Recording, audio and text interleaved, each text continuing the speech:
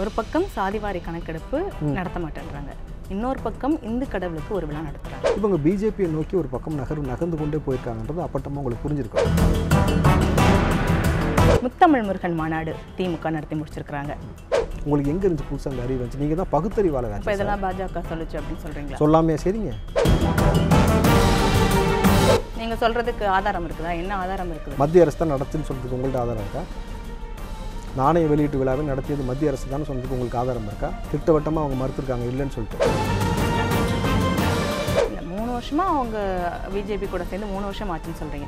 ஆனா இத்தனை இந்த இதுக்கு முன்னாடி ரெண்டு வருஷமா அவங்க தேநீர் இருந்த புறக்கணிக்க தானே செஞ்சாங்க? தமிழுக்காக தொண்டாற்றினார். அஞ்சு முறை முதலமைச்சர் ஆனார் அவருடைய நூற்றாண்டு விழாவை முன்னிட்டு கலைஞர் நாங்கள் அவருக்கு கௌரவம் சேர்க்கக்கூடிய வகையில் இந்த நாணயத்தை வெளியிட போகிறோம்னு சொல்லிட்டு தலைக்கு விலை வச்சு வைக்கிறீங்க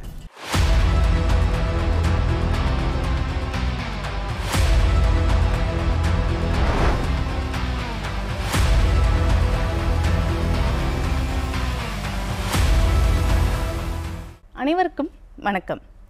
நியூஸ் ஜெய்வின் சொல்லியடி நிகழ்ச்சியில் உங்களை சந்திப்பதில் மிக்க மகிழ்ச்சி. இன்றைய நமது நிகழ்ச்சியில் காங்கிரஸ் கட்சியிலிருந்து ராவுத்தர் இப்ராஹிம் இணைந்திருக்கிறார். அவரை வரவேற்று நாம் நிகழ்ச்சிக்குள் செல்லலாம். வணக்கம் சார். வணக்கம் ரேவதி.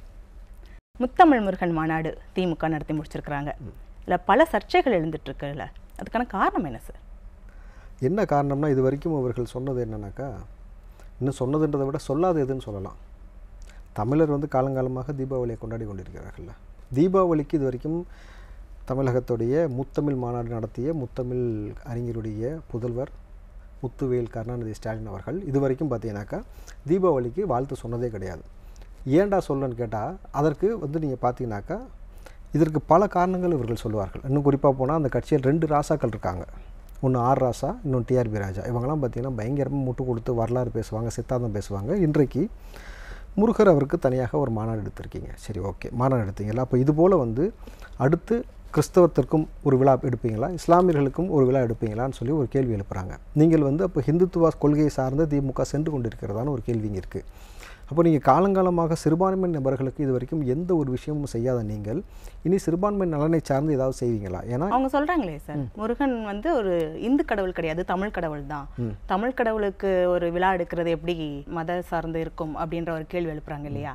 கடவுள்னு வந்துருச்சுல அப்புறம் என்ன தமிழ் கடவுள் இந்து கடவுள் இங்கிலீஷ் கடவுள் தான் என்ன உருட்டுறீங்க புதுசு புதுசாக நீங்கள் ஒரு பெரும்பான்மையான ஒரு கூட்டம் வழிபடக்கூடிய ஒரு ஒரு விழாவிற்கு ஒரு கடவுளுக்கு நீங்கள் வந்து செய்ய ஆரம்பிச்சிட்டிங்கனாக்க அப்போ நீங்கள் வந்து எல்லா மதத்துக்கும் முக்கியத்துவம் கொடுக்கக்கூடிய நபராக மாறணும். குறிப்பிட்ட மதத்துக்கு மட்டும் நீங்கள் முக்கியத்துவம் கொடுக்கக்கூடிய நபராக திமுக மாறி வந்துச்சுனாக்கா கேள்வி எழுப்பப்படும். நாளைக்கு நீங்கள் ஒன்றும் இல்லை. அப்போது இனிமேட்டு ஸ்டாலின் அவர்கள்ட்ட இருந்து இந்த தீபாவளிக்கு இந்த வரக்கூடிய தீபாவளிக்கு அவர்கிட்ட இருந்து வாழ்த்து எதிர்பார்க்கலாமா?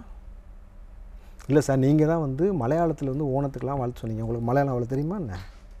ஏன் மலையாளத்துக்கு வாழ்த்து சொன்னீங்க? நியாயமாக மலையாளத்தில் வந்து யார் வாழ்த்து சொல்லியிருக்கணும் உதயநிதி தானே வாழ்த்து சொல்லியிருக்கணும் ஏன் உதயநிதி சொல்லணும்? இல்லை அவருக்கு தான் நிறைய ஃப்ரெண்ட்ஸ் இருக்காங்க கேரளாவில் அதுக்காக சொன்னேன் நான். துறை ரீதியாக நிறைய நண்பர்கள் இருக்காங்க தோழிகள் இருக்காங்க. அக்கா அவர் தான் வாழ்த்து சொல்லணும். நீங்கள் வந்து ஒரு ஸ்டேட்டோட முதலமைச்சராக இருந்துக்கிட்டு மலையாளத்தில் ஓணத்துக்கு வாழ்த்து சொல்கிறீங்க இங்கே தமிழர்கள் காலங்காலமாக நம்ம பல விஷயங்கள் கேட்டுக்கொண்டு இருக்கிறோம் தீபாவளிக்கு வாழ்த்து சொல்லுங்கன்னா சொல்ல மாட்டேன்னு அடம்பிடிக்கிறீங்க அப்போது இனிமேட்டு உங்கள்கிட்ட இருந்து தீபாவளிக்கு வாழ்த்து எதிர்பார்க்கலாமா? அல்லது இனிமேட்டு உங்கள்கிட்ட வந்து எல்லா மதத்திற்கும் ஒவ்வொரு விழாவுக்கு நீ எடுப்பீங்களான்னு ஒரு கேள்வி இருக்குது இங்கு தமிழர் தொன்மை சார்ந்து இருக்கக்கூடிய விஷயத்துக்காக நீங்கள் எல்லாம் சரினாக்கா அப்போ அது போன்ற விஷயங்களை இனிமேட்டு இந்த திமுக அரசாங்கம் முன்னெடுக்குமா? ஒரு பக்கம் சாதிவாரி கணக்கெடுப்பு நடத்த மாட்டேன்றாங்க. இன்னொரு பக்கம் இந்து கடவுளுக்கு ஒரு விழா நடத்துறாங்க. ஸோ இந்த ரெண்டுக்கும் ஏதாவது ஏதாவது மையப்புள்ளி இல்லை இணைப்பு ஏதாவது இருக்குதா? நீங்கள் ரெண்டுக்கும் மையப்புள்ளி இல்லாமல் எப்படி இருக்கும்னு நினைக்கிறீங்க? என்ன என்னது? சரி சாதியவாரி கணக்கெடுப்பு எடுத்தால் இங்கே இருக்கக்கூடிய சிறுபான்மை எல்லாம் சிறுபான்மை இல்லைன்னு ஒரு கணக்கு வந்துடும் காலங்காலமாக நீங்கள் இஸ்லாமியர்களையும் கிறிஸ்தவர்களையும் ஏமாற்றி கொண்டிருக்கக்கூடிய உங்கள் முகத்திரை கிழித்தறியப்படும். நீங்கள் அது ஒன்று இந்த பக்கம் பார்த்தீங்கன்னா இவர்கள் தற்போது இந்துக்களுடைய பெரும்பான்மை ஓட்டை வாங்குவதற்கும் ஹிந்து சார்ந்த ஒரு விஷயத்தை மையப்படுத்தி இது ஒரு பக்கம் நகர்வு நகர்ந்து கொண்டே போகிறதுனாக்கா இவங்க பிஜேபியை நோக்கி ஒரு பக்கம் நகர்வு நகர்ந்து கொண்டே போயிருக்காங்கன்றது அப்பட்டமாக உங்களுக்கு புரிஞ்சிருக்கணும். ஏன்னா இந்த பிஜேபி என்ற ஒரு கட்சி திமுக சொன்னதையே நம்ம சொல்லுவோம். எல்லாரும் சொல்வதை தாண்டி திமுக என்ன சொன்னது அப்படின்னு சொல்லுவோம். இந்த பிஜேபி என்ற ஒரு கட்சி சித்தாந்த ரீதியாக கோட்பாடு ரீதியாக தமிழ்நாட்டுக்கு மட்டும் கிடையாது இந்தியாவுக்கு பேராபத்து. இவர்கள் உடை கலாச்சாரத்தில் கை வைத்தார்கள் உணவு கலாச்சாரத்தில் கை ஒரு வைத்தார்கள். முருகருக்கு ஒரு மாநாடு நடத்திட்டாங்க அப்படின்றதுக்காக அவங்க பிஜேபி பக்கம் போயிட்டாங்க அப்படின்னு சொல்லிட முடியுமா? அதை தான் நான் உங்களுக்கு எக்ஸ்பிளைன் பண்ணுறேன்ல இந்த திமுக சொன்னது நான் பதிவு பண்ணுறேன் இவர்கள் திமுக சொன்ன விஷயம் என்னன்னாக்கா திமுக பிஜேபி என்ற ஒரு கட்சி தமிழ்நாட்டுக்கு மட்டும் கிடையாது இந்தியாவுக்கே ஒரு பேராபத்துன்னு சொன்னாங்க. இந்தியாவுக்கு எதெல்லாம் பேராபத்து எதனால் பேராபத்துன்னு சொன்னாக்கா உணவு கலாச்சாரத்தில் கை வச்சாங்க உடை கலாச்சாரத்தில் கை வச்சாங்க மத வழிபாட்டில் கை வச்சாங்க பெண்களை நிர்வாணப்படுத்தினாங்க. இங்கே இருக்கக்கூடிய மக்களை வந்து கொன்று குவித்தார்கள். இன்னும் சொல்லப்போனால் ஒரே நாட்டில் வந்து ஒரே நாளில் காசு இல்லாதன்னு சொல்லி ஒட்டுமொத்த நபர்களையும் தெருவில் நிப்பாட்டினாங்க. அம்பானிக்கும் அதானிக்கும் மட்டுமாக இவர்கள் ஆட்சி செய்து கொண்டு இருக்கிறார்கள் அப்படின்னு சொன்ன நீங்கள் நல்லா பார்த்தீங்கன்னாக்கா டக்குன்னு பார்த்தீங்கன்னா இந்த பக்கம் வந்து ஃபோன் போட்டு அண்ணாமலைக்கு அழைப்பு. நல்லா யோசிச்சு பாருங்கள் நீங்கள் வந்து ஃபோன் போட்டு அண்ணாமலைக்கு கூப்பிட்றீங்க பிஜேபியிலேருந்து ராஜ்நாத் சிங்கை கூப்பிட்றீங்க நீங்கள் தான் போய் உங்கள் அப்பாவுக்கு நாணயத்தை வெளியிடுங்கன்னு கேட்டீங்க. மத்திய அரசே ஓடி வந்து கொடுக்கணும்னுப்பா இந்த மாதிரி ஒரு நபர் நாங்கள் பார்த்ததே கிடையாது. அஞ்சு முறை முதலமைச்சர் இருந்திருக்காராமே தமிழுக்கு பயங்கரமாக வேலை செஞ்சுருக்காராமே அவருக்கு நாங்கள் காயின் வெளியிடணும்னு கேட்டாங்களா? நீங்கள் தானே போய் கலைஞருக்கு வந்து காயின் வெளியிடுங்க நாணயம் வெளியிடுங்கன்னு சொன்னீங்க. நாணயத்தை வெளியிட சொல்லிவிட்டு அதுக்கப்புறம் இந்த பக்கம் என்ன சொல்கிறீங்க இது மத்திய அரசு நடத்துச்சுன்னு வெக்கமில்லாமல் சொல்கிறீங்க டிஎம்கேல ஃபேட் செக் யூனிட் ஒன்று இருந்துச்சுல அவனை சொல்ல சொல்லுங்கள் இது யார் நடத்தினான்ட்டு. சரி அதை தாண்டி நான் ரொம்ப சிம்பிளாக உங்களுக்கு புரிகிற மாதிரி கேட்குறேன் இவ்வளோ சொல்லிட்டு நீங்கள் எப்படி வந்து இணக்கமாக அவரோட செல்ல முடியுது? இன்னும் சொல்ல போனீங்கன்னாக்கா கூட்டணி கட்சிகளோடு சேர்ந்து திமுக சொன்னது கூட்டணி கட்சிகளோடு சேர்ந்து ஆளுநர் தேநீர் மாளிகையை புறக்கணிக்கிறேன்னு சொன்னீங்க. கடைசியில் பார்த்தாக்கா ஒட்டுமொத்த கூட்டணி கட்சியை புறக்கணிச்சுட்டு இவங்க போய் எங்கள் டீ குடிக்க உட்காந்துட்டாங்க. நல்ல ஒரு விஷயம் புரியுதுங்களா? அப்போ உங்களால் வந்து ஆளுநரை தவிர்க்க முடியவில்லை. அண்ணாமலை தவிர்க்க முடியவில்லை. அண்ணாமலைக்கு ஃபோன் போட்டு கூப்பிட்றீங்க. உங்களுக்கு ரொம்ப இயல்பாக புரிகிற மாதிரி கேட்டால் உன்னை அழிச்சே தீர்வேண்டான்னு ஒருத்தன் சொல்கிறான் சபதம் போடுறான். அவங்க கூட நீங்கள் சாவாசம் வச்சுப்பீங்களா? உங்களுக்கு திராணி இருந்தால் நீங்கள் அழிக்க பார்ப்பீங்க. திராணி இல்லைனாக்கா நீங்கள் என்ன பண்ணுவீங்க விலகி போவீங்க தானே உறவு வச்சுக்க மாட்டீங்க. ரெண்டாயிரத்தி இருபத்தி நாலு எலெக்ஷனுக்கு பிறகு திமுக என்ற ஒரு கட்சியே இருக்காது அழிச்சே தீர்வேன்னு சபதம் விட்டது மோடி. ஆமாம் அழிச்ச தீர்வுன்னு சொன்னது அண்ணாமலை. அவங்க சாவாசம் உங்களுக்கு வந்திருக்கு. அவங்களோட நீங்கள் இணக்கமாக இருக்கீங்க. உதயநிதி இந்த பக்கம் அம்பானி வீட்டு கல்யாணத்துக்கு போகிறாரு அதானியோட சபரிசன் இந்த பக்கம் சந்திக்கிறாரு. இவர் வெள்ளக்கூடிய தூக்கிட்டு ஓடுறாரு. இவங்க வந்து இன்றைக்கி டீ பார்ட்டி கொடுத்துக்கிறதும் கட்டி தழுவிக்கிறதும் அண்ணாமலை கையை பிடிச்சி இந்த பக்கம் ஏவாவளி கெஞ்சிக்கிட்டு பேசுகிறதும் கொஞ்சிக்கிட்டு இருக்கிறதும். இப்போ இதெல்லாம் பார்க்கும்போது உங்களுக்கு என்ன தெரியுது? முருகனுக்கு யார் வந்து மாநாடு நடத்துவோன்னு சொன்னால் பிஜேபி தானே சொல்லிச்சு. முருகன் இந்த முருகன் ஒருத்தர் இருக்கார்ல பிஜேபியில். மத்திய அமைச்சர். அவர் தான் வேலை தூக்கிட்டு சுற்றினார் அதே வேலையை இப்போ நீங்கள் செய்ய ஆரம்பிச்சிட்டிங்களா நீங்கள் அப்போ எதை நோக்கி யார் சொல்வதை நோக்கி நகர்ந்து போகிறீங்கன்னு ஒரு விஷயம் இருக்குல்ல? அப்போ திட்டவட்டமாக பிஜேபி என்ன செய்ய நினைத்ததோ என்ன செய்ய சொல்கிறதோ அதை நீங்கள் செய்கிறீங்க உங்களுக்கு எங்கே இருந்துச்சு புதுசாக அந்த அறிவு வந்துச்சு? நீங்கள் தான் பகுத்தறிவாளர் இதெல்லாம் பாஜக சொல்லுச்சு அப்படின்னு சொல்றீங்களா? சொல்லாமே சரிங்க உங்களுடைய சாவாசம் இப்போ சமீப காலமாக எந்த பக்கம் இருந்துகிட்டு இருக்கு? நீங்க சொல்றதுக்கு ஆதாரம் இருக்குதா? என்ன ஆதாரம் இருக்குது? மத்திய அரசு தான் நடத்துன்னு சொல்கிறதுக்கு உங்கள்ட்ட ஆதாரம் இருக்கா? நாணய வெளியீட்டு விழாவை நடத்தியது மத்திய அரசு தானே சொன்னதுக்கு உங்களுக்கு ஆதாரம் இருக்கா? திட்டவட்டமாக அவங்க மறுத்துருக்காங்க இல்லைன்னு சொல்லிட்டு. ஸ்டாலின் சொல்றாரு அவங்க தான் நடத்துனாங்க ஸ்டாலின் நூறு சதவீதம் வாக்குறுதி கொடுத்தா நிறைவேற்றுன்னு போய் சொல்கிறாரு உண்மையா? அவர் சொல்கிறதெல்லாம் உண்மை நம்ம எடுத்துக்கவே முடியாது. ஸ்டாலின் சொல்கிறதோ அந்த கட்சி சார்ந்த நபர்களோ சொல்வதோ உண்மை எடுத்துக்க முடியாது. ஏன்னா இவங்க ஆட்சியில் மட்டும்தான் முதல் முறையாக ஐஏஎஸ் அதிகாரிகளை பொய் சொல்ல வச்சாங்க. அப்ப இதெல்லாம் பாஜக சொல்லி தான் திமுக செய்தா? பாஜக பாஜக கீழே அவங்க அதிகாரத்தின் கீழே தான் திமுக இருக்கு அப்படின்னு சொல்றீங்க. பாஜகவோடு அவங்களோட அவங்க கீழே அவங்கள்ட்ட சரணடைஞ்சு மூணு வருஷம் ஆயிடுச்சு இவங்க. புரியுதுங்களா? இவங்களுக்கு புதுசாக உருட்டு உருட்டுன்னு உருட்டுவாங்க. பிஜேபி எதிர்க்கிறோம் சித்தாந்த ரீதியாக எதிர்க்கிறோம்னு சொல்கிறது டீ டீ சாப்பிட்றது அவங்கள அழைச்சி விழா பண்ணுறது கூட்டணி கட்சி எதுக்கு புறக்கணிச்சிட்டு போனீங்க? சரி எடப்பாடி அவர்கள் அந்த நிகழ்ச்சி புறக்கணிச்சார்ல தேநீர் இருந்த காங்கிரஸ் கட்சி புறக்கணிச்சில்ல அவர்கள் சார்பாக அனுப்பிச்சாங்களே அந்த மாதிரி அவர்கள் சார்பாக ஸ்டாலின் இங்கே அனுப்பிச்சி வச்சிருக்க வேண்டியதானே உங்களுக்கு தான் ரவினா ஒத்து வராதுல்ல அண்ணாமலைனா ஒத்து வராதுல்ல? அண்ணாமலையே நீங்கள் கலைஞர் சமாதிக்க நிற்கும் பொழுது அண்ணாமலை பின்னாடி நிற்கிறது இவருக்கு அப்படியே நெஞ்சில் வலி எடுத்துச்சு தெரியுமா? முன்னாடி வாங்க அண்ணாமலை. கூப்பிட்றாரு. முன்னாடி வர சொல்லி அவங்க எல்லாமே கனிமொழி அண்ணாமலை இந்த பக்கம் பார்த்தீங்கன்னா முதல்வர் ராஜ்நாத் சிங். எப்படி இருந்துச்சு அந்த காணொலி அந்த காட்சி பார்க்கும்போது உங்களுக்கு எப்படி இருந்துச்சு? ராஜாக்கள் மாளிகையில் தாமரைப்பு சொந்தமடா நாலுகால் மண்டபம் போல் நாங்கள் கொண்ட சொந்தமடா. அப்படி தான் இருந்துச்சு? முத்துக்கு முத்தாக சொத்துக்கு சொத்தாக. தன் சொத்தை காப்பாற்றணும் தன் பிள்ளையை காப்பாற்றணும் தன் ஆட்சியை காப்பாற்றணும் தன் அதிகாரத்தை காப்பாற்றணும் இந்த சீனியர் மோஸ்ட் அமைச்சர்கள்லாம் ஊழல் பண்ணி கனிம உலகம் கொலையெல்லாம் அடித்து அவங்க மேல் இருக்கக்கூடிய வழக்கை காப்பாற்றணும் தலைக்கு மேல் தொங்குறான ஜாஃபர் சாதிக்கிற ஒரு கத்தி. அவன்கிட்ட வந்து அந்த கேஸில் இருந்து நல்லபடியாக வெளியில் வரணும்னாக்கா மத்திய அரசோடைய இணக்கமாக செல்லாமல் போனால் இது சாத்தியமில்லை. அப்படி இல்லாட்டி சித்தாந்த ரீதியாக கோட்பாடு எதிரின்னு சொல்லிட்டு நீங்கள் எப்படி பிஜேபி அழைப்பீங்க? எதனால் ராகுலை புறக்கணிச்சிங்க? இல்ல மூணு வருஷமா அவங்க பிஜேபி கூட சேர்ந்து மூணு வருஷம் ஆச்சுன்னு சொல்றீங்க. ஆனா இத்தனை இந்த இதுக்கு முன்னாடி ரெண்டு வருஷமா அவங்க தேநீர் விருந்த புறக்கணிக்க தானே செஞ்சாங்க. இது ஒரு அரசு விழாவா எடுத்துக்க முடியாதா அவங்க போனதை? அதையும் ஒரு அரசியலா சொல்றீங்க. அரசியல் தானே இது. இது எப்படி அரசு விழா ஆகும்? அவங்க அப்பாவுக்கு நாணயம் வெளியிடுவது அரசு விழா ஆகும்னு சொன்னீங்கன்னாக்கா அப்போ அந்த நாணயத்தை வைத்து நீங்கள் வந்து வியாபாரம் செஞ்சுருக்க கூடாது. வியாபாரம் செய்ய ஆரம்பிச்சிட்டிங்களா இப்போ? அவர் என்ன சொல்கிறாருன்னா அறிவாலயத்துக்கு நாணயம் வந்து விட்டது. அறிவாலயத்துக்கு என்னைக்குடா நாணயம் வந்துச்சு? அறிவாலயத்துக்கும் நாணயத்துக்கும் என்ன சம்பந்தம்? அறிவாலயத்தில் நாணயம் விற்கப்படுகிறது.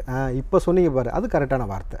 கரெக்டுங்களா அறிவாலயத்தில் நாணயத்தை விற்பீங்க அந்த நாணயத்துக்கு இப்போ என்ன சொல்கிறாருன்னா விலை மதிப்பற்ற நாணயத்திற்கு பத்தாயிரம் ரூபாய் விலை வச்சுருக்கேன்னு இருக்காரு ஒப்பா தலைக்கு விலை வச்சிட்டிங்களா? தமிழுக்காக தொண்டாற்றினார் அஞ்சு முறை முதலமைச்சரானார். அவருடைய நூற்றாண்டு விழாவை முன்னிட்டு கலைஞர் நாங்கள் அவருக்கு கௌரவம் சேர்க்கக்கூடிய வகையில் இந்த நாணயத்தை வெளியிட போகிறோம்னு சொல்லிட்டு தலைக்கு விலை வச்சு விற்கிறீங்க இப்போ நாளைக்கு நீங்கள் இதையும் அப்போ சொல்லியிருக்க மாட்டீங்க. என்ன நிச்சயம்? அறிவாளத்துக்கு வந்து பத்தாயிரரூபா கொடுத்து வாங்கிக்கன்னு சொல்லிட்டு நாளைக்கு உள்ளாட்சி மன்ற எலெக்ஷனில் உனக்கு சீட்டு வேணும் எம்எல்ஏ வாங்கணும் எம்பி ஆகணும் நாணயத்தை கொண்டு வந்தாண்டா சீட்டுன்னு சொல்லியிருப்பீங்களா இல்லையா? மக்கள் போட்டுக்கிட்டு இருக்கா நான் சொல்லலை. அப்போ இதை வச்சு ஒரு வியாபாரம். ரெண்டாவது ஏலத்தில் ரேட் ஏற்றி விடுவாங்க. நீங்கள் கவனிச்சிருக்கீங்களா? ஏலம் எடுக்கிறதெல்லாம். அந்த மாதிரி முதல்வரே பேசுகிறாரு அந்த காணொலி உங்களுக்கு தரேன். இந்த நாணயத்திற்கு விலை மதிப்பற்றது. ஆனால் இதற்கு பத்தாயிரம் கொடுத்து நீங்கள் வாங்கிக் கொள்ளலாம். இதை வந்து காந்தி சொன்னாராம். உடனே நான் ஒரு லட்ச ரூபா கொடுத்து வாங்கிக்கிறேன் அப்படின்ட்டு. உடனே முதல்வர் சொல்கிறார் நீங்கள் ஒரு லட்சம் இல்லை பத்து லட்ச ரூபா கொடுத்து கூட வாங்குவீங்க. அங்க எப்படி இருக்கு? ஸோ இவங்க எப்படிலாம் அழகாக ரேட் ஏற்றி விடுறாரு? சரி ஒரிஜினல் காந்தி ஒருத்தர் இருந்தார்ல இந்த ரூபா நோட்லாம் காந்தி இருக்காரு அவர் இருந்தால் என்ன சொல்லியிருப்பார்? ஏன்பா என் முகம் நோட்டில் இருக்கிற வரைக்கும் நூறு நூறுரூபாய்க்கு மதிப்பு நூறுரூவா உங்கள் அப்பா முகம் வந்தவொடனே நூறுரூபாய்க்கு பத்தாயிரம் பத்து லட்சமான்னு கேட்பாரா கேட்க மாட்டாரா? அது இலவசமாக கொடுத்து மாதிரி காந்தி உண்மையான காந்தி முகம் இருக்கிற அந்த நோட்டு செல்ற நோட்டு. இது செல்லாத காசு தானே? இதுக்கே இவ்ளோ கோவம். செல்லாத காசுக்கு பத்தாயிரம் ரூபாய் விலை வச்சுருக்கீங்களே இது ஏன் யாரும் கேட்கலன்னு நான் கேட்குறேன். எல்லா அரசியல் கட்சி தலைவரும் ஊட சரி அரசியல் கட்சி தலைவர் கேட்குதோ இல்லையோ ஊடகம் கேட்டுக்கணும்ல. செல்லாத நாணயத்துக்கு பத்தாயிரரூபா கொடுத்து வாங்குறீங்க. சரி பத்தாயிரரூபா கொடுத்து ஒருத்தன் வாங்கிட்டு போய் கடையில் நூறுரூவாய்க்கு ஜாமான் வாங்கிட்டு மிச்சம் தொள்ளாயிரத்து தொள்ளாயிரத்தி தொண்ணூறுரூவா கொடுப்பான் அவன். கொடுக்க மாட்டான்ல. சரி இதில் என்ன எனக்கு ஒரு கேள்வினா இந்த நாணயத்துக்கு விலை வச்சிட்டீங்க. விற்கிறீங்க உண்மையாலுமே உங்களுக்காக காலங்காலமாக உழைச்ச தொண்டரை கௌரவப்படுத்தணும்னாக்கா கலைஞர் இருந்தால் என்ன பண்ணியிருப்பார் தெரியுமா? இவ்வளோ காலமாக தொண்டர் உழைச்சான்ல அவனுக்கு இந்த நாணயத்தை பரிசீலித்திருப்பார். நீங்கள் இதை வச்சு வியாபாரம் பார்க்குறீங்க. காற்றாக இருந்தாலும் விற்று காசு பார்க்குறீங்க காசாக இருந்தாலும் காசை விற்று காசு பார்க்குறீங்க. அது செல்லாத காசை. புரியுதுங்களா? இப்போது நீங்கள் இந்த மாதிரி செஞ்சுக்கிட்டு இருக்கீங்கல்ல சரி ஒரு பாமரன் ரொம்ப கலைஞர் மீது தீரா பற்று இருக்கான். அவன் அறிவாளத்துக்கு வந்து எனக்கு அந்த காசு வேணும்னு கேட்டால் அவன்கிட்ட நீ பத்தாயிரம் ரூபாய் கேட்குறீங்க நீங்கள் மாதம் மாதம் அவனுக்கு ஆயிரரூபா கொடுக்குறீங்களா? மகளிருக்கு இப்போ மாதம் மாதம் ஆயிரரூபா கொடுக்கலாம். அவங்களுக்கு ஆயிரரூபா கூட அவங்களுக்கு வந்து அவங்களுக்கு இல்லாத ஒரு சூழல் ஏற்படுது நாங்கள் கொடுக்குறோன்னு சொல்லி நீங்கள் கொடுக்குறீங்கனாக்கா அவங்க கலைஞர் மீது தீராப்பற்று வந்து அங்கே வந்தாக்கா அறிவாளத்தை நீங்கள் அவன்கிட்ட பத்தாயிரரூபா கேட்பீங்க கரெக்டாக எப்படி கொடுத்து வாங்க முடியும்? அப்போ கலைஞரை வாங்கணும். கலைஞரை ஆசைப்பட்டு நேசப்பட்டால் கூட இங்கே காசு இருந்தால் தான். அப்போ திமுகவில் காசு இருந்தால் தான் எதுவுமே சாத்தியம்ன்றது நீங்கள் சொல்லாமல் சொல்ல வரீங்க. கரெக்டாக எல்லா இடத்துக்கும் அவர் பேர் வச்சு கலைஞர் கலைஞர் வேண்டியது நூறு நாள். அப்படி இந்த பக்கம் பார்த்தீங்கன்னா திருமணினா கலைஞருக்காக மாநாடுறது கலைஞருக்காக நிகழ்ச்சி நடத்துறது கலைஞருக்காக புத்தகம் வெளியிடுறது. இந்த புத்தகம் வெளியீடு இப்போ நடந்துச்சு பார்த்தீங்களா ரஜினிக்கும் துரைமுருகனுக்கும் ஒரு பெரிய சர்ச்சையே ஓடிட்டு இருக்குல்ல ஆமாம் இதுக்கு புத்தக வெளியீட்டு விழாவில் அதுக்கு முன்னாடி ஒருத்தர் புக்கு எழுதியிருக்காராம். இது வரைக்கும் அவர் எத்தனை புக் எழுதியிருக்காரு? யார் அந்த புத்தகம் புத்தகம் எழுதுனது யார் தெரியுமா உங்களுக்கு? அமைச்சர் ஏவா வேலுதன். ஏவா வேலு. அதாவது அந்த ஏவா வேலு என்ன சொல்லியிருக்காருன்னா எத்தனை ஸ்கூல் இருக்குது எத்தனை காலேஜ் இருக்குது எத்தனாயிரம் கோடி எனக்கு சொத்து இருக்குன்னு எனக்கே தெரியாதுன்னு சொன்ன மனுஷன். ஊடகத்தில் சொல்லியிருக்காரு. அவர் வந்து புதுசாக புத்தகம் எழுதியிருக்காரு. அது எப்படி? தாய் உள்ளம் கொண்ட தாயாக மாறிய கலைஞரா? சரி ஓகே. எழுதுனீங்க. இதெல்லாம் இருக்கட்டும். ஏவா வேலு தொடர்ந்தாப்புல ஒரு பத்து நிமிஷம் ஒரு அதில் இருக்க பத்து பக்கத்தை அப்படியே மனப்படமாக சொல்ல சொல்லுங்கள் அவர் எழுதுங்க நான் ஒத்துக்கிறேன். யாரையாவது உட்காந்து எழுத வைக்க வேண்டியது பேர் உங்கள்ட்ட போட்டுக்கிறது. சரி அது இருக்கா இல்லையான்றது ஆராய்ச்சிக்கு அப்புறம் வருவோம். ஏன்டா ரஜினிக்கு நாணயத்தை அப்போ கொடுத்தீங்கன்னு எனக்கு புரியவே இல்லை. அதுக்கப்புறம் பார்த்தாக்கா அதை கொடுத்து இப்போ நிகழ்ச்சி கூப்பிட்டு வந்துட்டாங்க அந்த புக்கு வெளியீட்டு விழாக்கு. அதில் அவர் சூப்பராக அடிச்சார் பார்த்தீங்களா? ஆனா துரைமுருகன் தான் சொல்லிட்டாரே நகைச்சுவையை பகைச்சுவையை ஆக்காதீங்க அப்படின்னு அவர் முற்றுப்புள்ளி வச்சிட்டாரு. திரும்ப அதை எடுத்து சர்ச்சையாக்கணும் அப்படின்னு என்ன இருக்கு? சர்ச்செல்லாம் யாருமே ஆக்கலை. அவர் என்ன ரொம்ப தெளிவாக சொன்னான்னா ஸ்டாலின் அவர்கள் சொல்லி யாரும் சீனியர் மோஸ்ட் நபர்கள் வழிவிடுவது போல் தெரியல. அது இல்லாமல் அவங்க என்ன பண்ணுறாங்கன்னா வாரிசு வாரிசு அவன் பிள்ளைக்கு அடுத்தடுத்து நீங்கள் வந்து சீட்டு கேட்டு அடம் பிடிச்சிட்டே இருக்கீங்க. அப்போ உதயநிதி அவருடைய தலைமையில் ஆட்சி கொண்டு வரணுன்றது முதல்வருடைய விருப்பம். இது நம்ம உதயநிதியை சீக்கிரம் துணை முதலமைச்சர் ஆக்கணும். அடுத்து ரெண்டாயிரத்தி இருபத்தி ஆறுக்கு இவரை வந்து முகமாக காட்டணும்னு பொழுது சீனியர் வழிவில் ரஜினி வச்சு பேச வச்சாச்சு. ரஜினி ரொம்ப தெளிவாக என்ன சொன்னார் உங்களுக்கு? இங்கே வயசான ஸ்டூடெண்ட்ஸ்லாம் உட்காந்துக்கிட்டு இங்கேருந்து கிளம்ப மாட்டேன்னு அடம்பிடிச்சிட்டு கிடக்கு. இவங்கெல்லாம் வழி விட்டால் தான் நடக்கும்ட்டு. இப்போது ரஜினி சொன்னது தவறாக தவறுன்னு சொல்லி தவறு இல்லை அப்படின்னாக்கா உதயநிதி அதை வந்து சொல்லியிருப்பார். உதயநிதி ரஜினி சொன்னதை ஒத்துக்கிட்டார். ரஜினி சொன்னதை நான் வந்து நான் திருப்பி சொல்லி காட்ட விரும்பலை. நான் அவர் சொன்ன விஷயம் கரெக்டு கரெக்டாக அவர் சொன்னார். அப்போ என்ன அர்த்தம்? தயவு செஞ்சு வழி விடுங்க சீனியர் மோஸ்ட் நபர்லாம் எங்கள் அப்பா கூட இருந்தீங்கன்னா கிளம்பி போங்க. இப்போ அடுத்து என் தலை என்னுடைய தலைமுறை வந்து அவர் துணை முதலமைச்சர் ஆகுறதுக்கு இந்த சீனியர் அமைச்சர்கள்லாம் தடையா இருக்கிறாங்க அப்படின்னு நினைக்கிறாரா? நிச்சயமாக தடையாக இருக்காங்களா இல்லையா? இப்போ ஸ்டாலின் உதயநிதியை துணை முதலமைச்சர் ஆக்கணும் அப்படின்ற தன்னோட கருத்தை ரஜினியை வச்சு சொல்ல வச்சாரு அப்படின்னு எடுத்துக்கலாமா? இல்ல இந்த திமுகக்குள்ள நடக்கிற பிரச்சனை ரஜினிக்கு தெரிஞ்சிருக்கு அப்படின்னு எடுத்துக்கலாமா? ரஜினிக்கு என்னங்க அவ்வளோ அவசியம் இருக்குது ஏன்னா ஸ்டாலின் அவர்கள் வந்து இப்போ வெளிநாட்டுக்கு முதலீடு ஈர்க்க போகிறேன்னு சொல்கிறார் இல்லையா? வெளிநாட்டுக்கு போகிறாருன்னா முதல்ல அவர் எந்த நாட்டுக்கு முதல்ல வந்து மு- துணை முதலமைச்சர் ஆரந்தேன் அப்படின்ற ஒரு விஷயமே அவருக்கு தெரியல. ஏன்னா அவர் பேசுகிறது எந்த நாட்டுக்கு இருந்த எந்த ஸ்டேட்டுக்கு இருக்குன்னு தெரியலாம ஜப்பானுக்கு ஏற்கனவே அவர் துணை முதலமைச்சராக இருந்திருக்கிறான் தெரியுமா உங்களுக்கு?